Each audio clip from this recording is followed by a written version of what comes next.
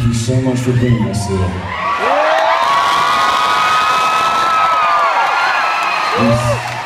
This, this is our last American tour for this album, so we really, really do mean it. Thank you for bringing us here.